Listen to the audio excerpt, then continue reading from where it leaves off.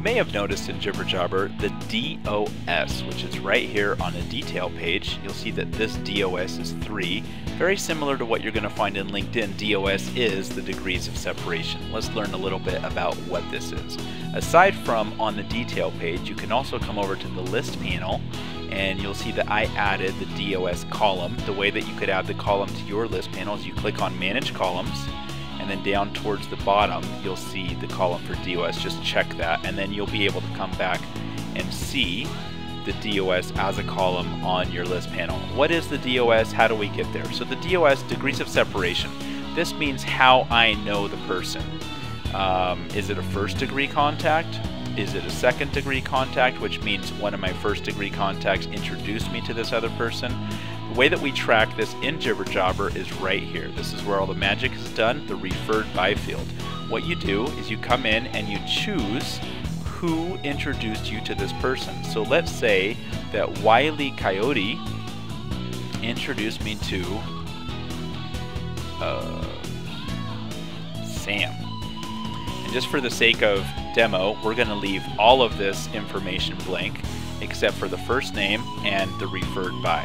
Now I'm going to come down here and I'll click on save and go to detail page and you'll notice now that this Sam is a fourth degree of fourth degree of separation contact.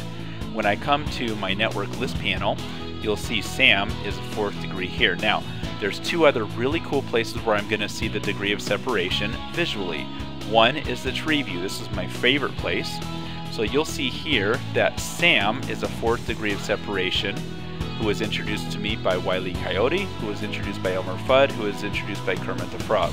So this is showing me graphically how wide my how how many ones I have and how deep. So here Sam would be fourth fourth level deep. How wide and how deep my network is. You can use this in a number of ways. Are you networking? Uh, are you asking your contacts who do you, who do they know who can help you enough? And if you are, then you'll see your network get deeper and deeper.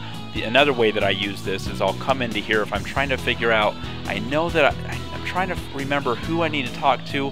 It was somebody who was introduced to me from Kent, but I can't remember what the person's name was. I'll come into the system on the tree view, I'll search for the name Kent and look at all of the people that he's introduced. Now notice that Sam is always going to be a fourth degree of separation contact from me. It doesn't matter if my relationship with Sam is better than it is with Kermit and Elmer and Wiley Coyote, he'll always be a fourth degree contact. The way that you'll change the strength of the relationship is under ranking. So right here he's a zero, uh, zero star rank. I can put him as a four or a 5, that still doesn't change the degree of separation, but it does show that I have a stronger relationship with him. So that's degrees of separation. I hope this has been helpful for you. For more information on how to manage your career, visit our website at www.jibberjobber.com.